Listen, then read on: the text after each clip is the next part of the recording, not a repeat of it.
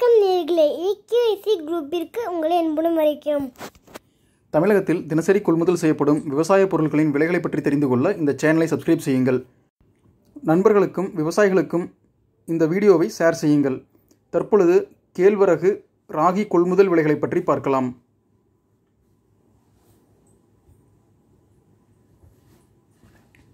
தமிழகத்தில் ராகி கொள்முதல் விலை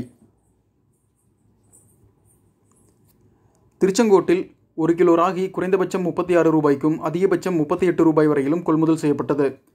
மொத்தம் விற்பனைக்கு ஒரு லட்சத்தி எண்பத்தி ஒன்பதாயிரத்தி எட்நூறு கிலோ பதிவானது. சேலத்தில் ஒரு கிலோ ராகி குறைந்தபட்சம் இருபத்தி இரண்டு ரூபாய்க்கும் அதிகபட்சம் இருபத்தி ஐந்து ரூபாய் எண்பது காசுகளுக்கும் கொள்முதல் செய்யப்பட்டது.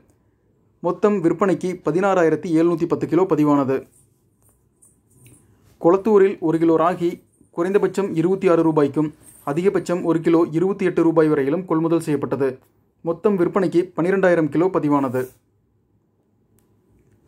உளுந்தூர்பேட்டையில் ஒரு கிலோ ராகி குறைந்தபட்சம் இருபத்தி மூணு ரூபாய் எழுபத்தி ஒன்பது காசுகளுக்கும் அதிகபட்சம் ஒரு கிலோ இருபத்தி நான்கு ரூபாய் அறுபத்தி ஒன்பது காசுகள் வரையிலும் கொள்முதல் செய்யப்பட்டது. மொத்தம் விற்பனைக்கு ஆயிரத்தி ஐநூறு கிலோ பதிவானது. திருக்கோவிலூரில் ஒரு கிலோ ராகி குறைந்தபட்சம் இருபத்தி ஒரு ரூபாய் முப்பத்தி ஒன்பது காசுகளுக்கும் அதிகபட்சம் ஒரு கிலோ இருபத்தி நான்கு ரூபாய் முப்பத்தி ஒன்பது காசுகள் வரையிலும் கொள்முதல் செய்யப்பட்டது. ஐயாயிரம் கிலோ விற்பனைக்கு பதிவானது. கள்ளக்குறிச்சியில் ஒரு கிலோ ராகி குறைந்தபட்சம் இருபத்தி இரண்டு ரூபாய் எழுபத்தி மூணு காசுகளுக்கும் அதிகபட்சம் ஒரு கிலோ இருபத்தி ஐந்து ரூபாய் ஐம்பது காசுகள் வரையிலும் கொள்முதல் செய்யப்பட்டது. மொத்தம் விற்பனைக்கு இரநூறு கிலோ பதிவானது. நாமகிரிப்பேட்டையில் ஒரு கிலோ ராகி குறைந்தபட்சம் முப்பத்தி ஆறு ரூபாய்க்கும் அதிகபட்சம் ஒரு கிலோ முப்பத்தி எட்டு ரூபாய் வரையிலும் கொள்முதல் செய்யப்பட்டது. மொத்தம் விற்பனைக்கு இருபதாயிரத்தி நூறு கிலோ பதிவானது.